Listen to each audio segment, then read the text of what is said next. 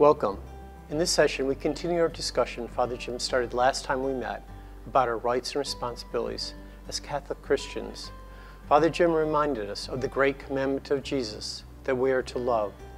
Love God and love our neighbor, no exceptions.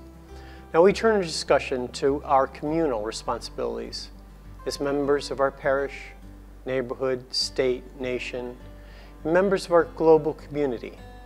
The Catholic bishops, in their document Economic Justice for All, highlight the rights of all people with these words. First among these rights to life, food, clothing, shelter and rest, medical care, and basic education. These are all indispensable to the protection of human dignity.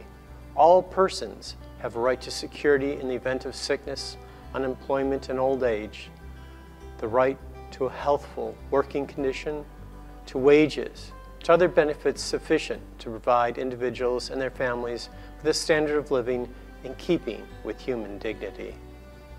What is being stressed here is the intersection of our rights and our responsibilities as Christians.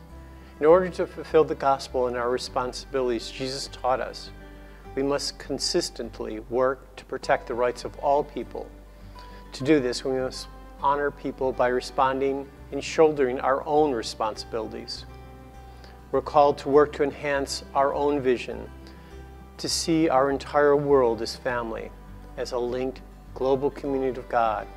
We are missioned to join together hand in hand as members of our global community to assure that all people can live, work with the dignity accorded to every person created by God. We must hold our local, national, and world leaders accountable to assure the rights of all, for a fair wage, for working conditions, and the dignity of the worker without regard to differences and boundaries of any kind. Pope Francis reminds us that collectively, as a Christian community and world community, we need to respond to the call to put aside boundaries and differences of any kind and truly embrace our responsibilities as the people of the gospel. Today, we can often fall into the sin of declaring and demanding our own rights while at the same time ignoring our responsibilities.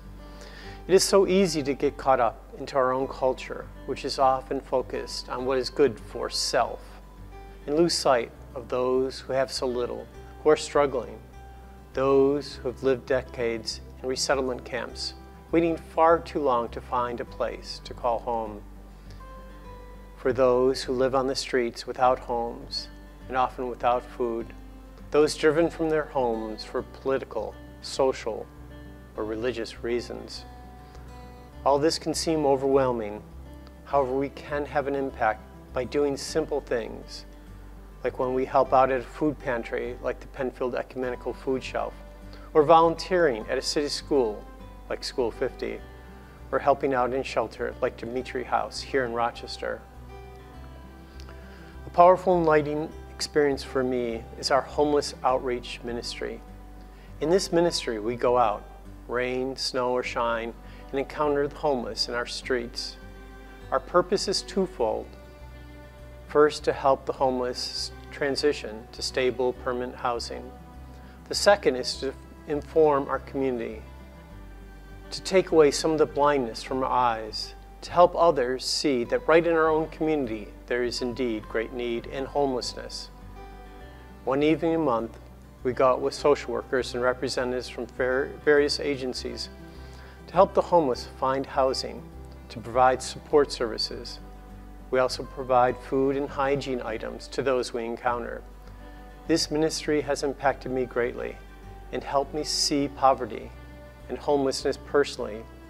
This helped me put a face on what homelessness looks like.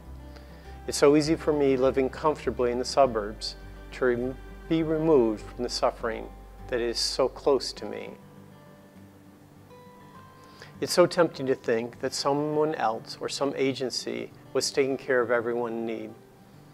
Meeting the homeless face to face and hearing their stories helped me open my eyes to homelessness.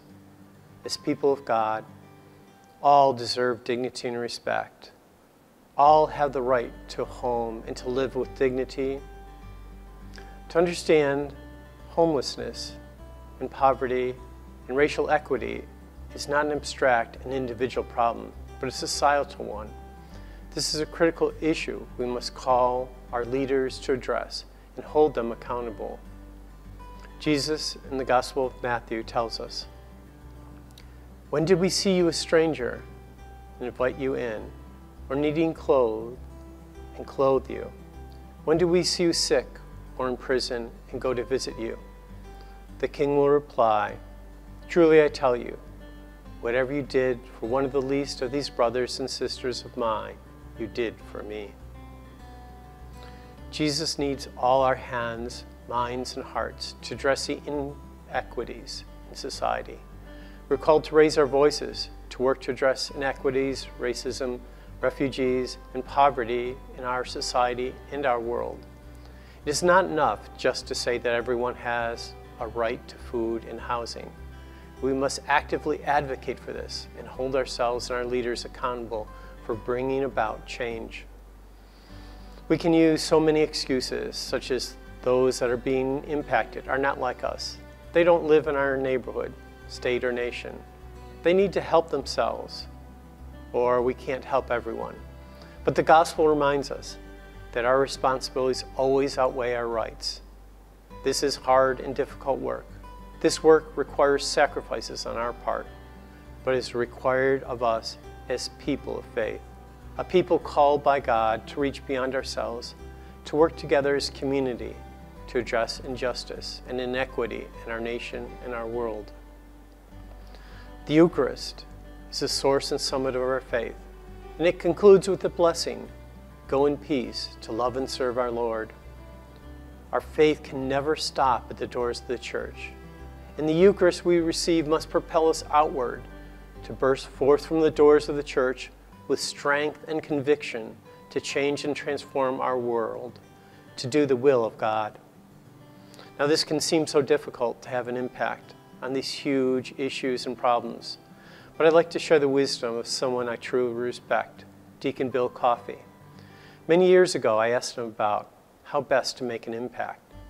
His words were simple and profound, and I tried to use them every day. He told me, just show up. He told me, don't try to overanalyze which cause or ministry is most needed or most important in the world. Simply pick something that resonates with you and just show up. Start somewhere and let the Lord guide you. The Lord won't lead you astray.